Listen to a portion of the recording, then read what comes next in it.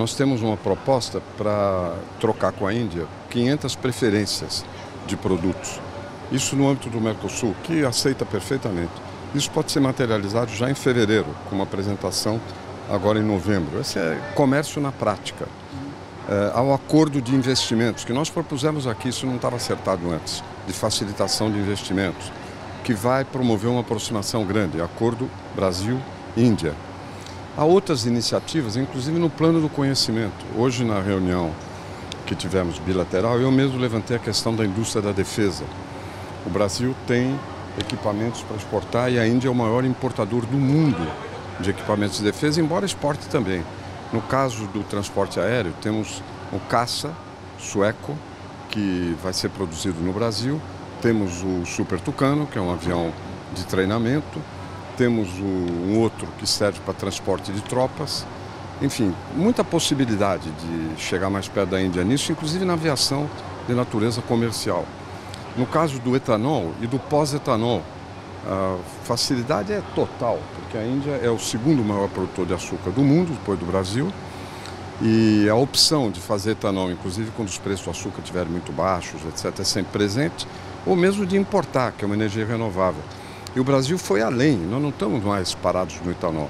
Nós estamos agora no pós-etanol, que é extrair eh, o etanol do bagaço da cana e de outros resíduos vegetais. Nós dominamos hoje essa tecnologia e temos interesse de exportá-la, porque na medida em que a fabricação do etanol se espalha no campo mundial, o etanol vira uma commodity, que é tudo que o Brasil precisa. Nós até, o presidente Temer mencionou ao, ao primeiro-ministro, que no Brasil tem automóveis flex, aqueles que pode usar álcool ou gasolina segundo o preço, inclusive, que o motorista decide. Coisa que parece simples, mas não tem em outros lugares do mundo. Então a possibilidade de cooperação aí é imensa, como há também na questão dos satélites. Aí ainda fabrica nanosatélites. Aí nós podemos tirar um proveito maior. No caso de medicamentos, né, porque os indianos são os maiores produtores do mundo de matérias-primas e princípios ativos. É um jogo conjunto aí vai trazer economia, porque a Anvisa daqui e a Anvisa dali pode jogar juntos, prefeito de testes de bioequivalência, biodisponibilidade, inclusive de produtos eh, derivados da biologia, né, remédios para câncer, ou mesmo dos químicos. Ainda é um grande produtor, tem, temos toda a condição de fazer um trabalho conjunto, isso no âmbito dos próprios BRICS. Então as possibilidades são grandes. Eu fiz uma continha simples. Se o Brasil tivesse com ainda a mesma proporção das exportações que faz para a China, triplicaria. A, a meu ver, a possibilidade no comércio com a Índia é triplicar o comércio dentro de alguns anos. Porque a complementaridade da economia indiana e da economia brasileira é até maior que a complementaridade entre a economia chinesa e a brasileira. Que é boa também, mas a da Índia é maior, por diversas condições, inclusive na área de alimentos. Você falou dessa parte de aviação civil. Outra é... questão que nós colocamos foi a necessidade de enfrentar essas barreiras sanitárias e fitossanitárias. Porque, em geral, o que acontece é que entra na burocracia e depois fica parado. Você cumpre aquilo que se pede e depois não acontece nada. E o primeiro-ministro indiano se disse que iria se empenhar sinceramente nisso, porque essa é uma ação difusa. Muitas vezes não é política de um governo, é uma coisa descentralizada entre diferentes departamentos, instituições ou mesmo setores de pressão. Regulação, né? Isso acontece tipicamente com a carne de frango. Na questão da carne de frango, que o senhor até mencionou ontem, Isso foi mencionado, o presidente Então, Temer mencionou. teve tem algum uma segurança O frango foi um assunto. Então, Não, mas a Índia disse que vai resolver. Né? é exatamente, eu ia perguntar quê? o- Qual- qual que é Deu prazo ou não? É, não, não deu prazo, mas que vão fazer um maior empenho nesse sentido. Que outros produtos Mas estão- ocupou um espaço pequeno na fala, de toda maneira. Que outros produtos estão nessa, nessa, nessa pendência de barreira fitossanitária? Tem vários alimentos e o mais notável realmente é o frango. Carne suína também. E carne suína, que é um problema geral. Tem com a África do Sul, tem. Carne suína é um problema no mundo. Não porque a brasileira não seja boa, mas porque é fácil colocar barreiras.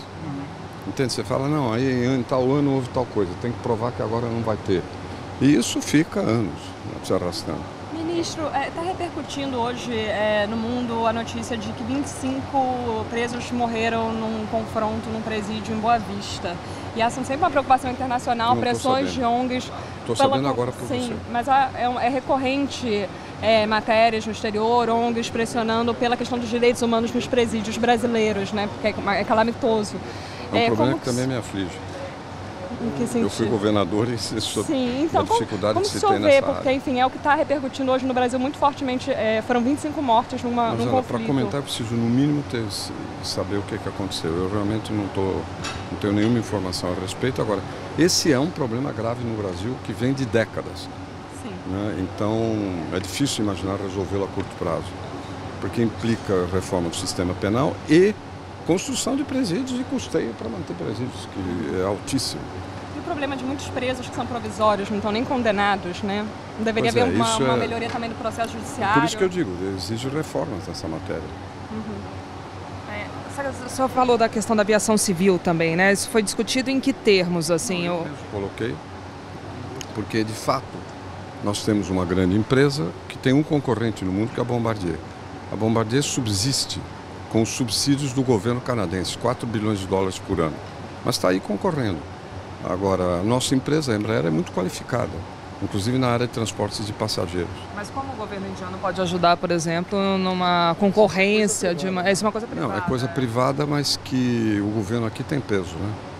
E, por outro lado, abrir também condições comerciais para que as vendas possam ser feitas, de financiamento e tudo mais. Aliás, a questão do etanol tem uma facilidade que tem financiamento do Banco dos BRICS agora, porque a energia é renovável. Da mesma maneira que no caso da energia eólica ou solar, na qual a Índia tem uma expertise, tem uma qualificação muito boa.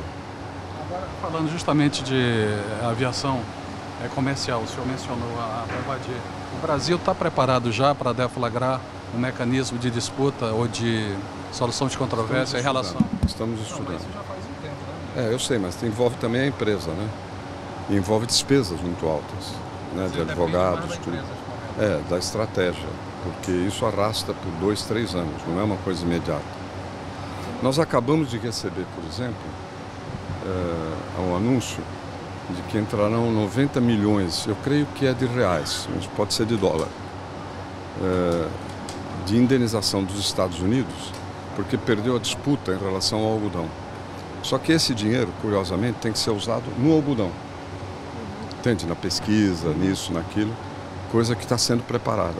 Disputa junto ao, ao OMC. É, mas é uma disputa que começou no final da década retrasada. Pra vocês terem uma ideia. É, durante o discurso foram citadas várias áreas. É, se eu pudesse só resumir brevemente o que de mais concreto né, que foi acordado hoje, que teve de, enfim, de assinatura, em que áreas O exatamente? acordo de investimentos, Sim, sim. o acordo de tocar para diante a, a- a- a preferência comercial, coisas dessa natureza.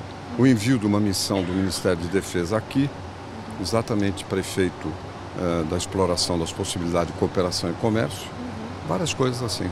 Quando você fala investimento, é o acordo de facilitação de investimento, né? Facilitação do investimento. Temos que facilitar comércio e investimento. Como eu disse, a complementaridade Brasil-Índia é muito alta. Então nós temos que ter a meta padrão Brasil-China. É ambiciosa, muito ambiciosa, mas factível. Se você pensar na complementaridade das economias. Dá para chegar em quanto tempo? Se for 10 anos, é uma maravilha. O Modi falou alguma coisa da área nuclear. Isso foi, como é que isso foi discutido? Ele falou alguma coisa de área nuclear, eu não entendi É, direito. Há uma demanda da Índia de integrar um organismo eh, internacional e que envolve também porque a Índia produz tem bomba, né? Então aí envolve China, Paquistão, é uma área complexa, mas o Brasil vai procurar cooperar nessa direção.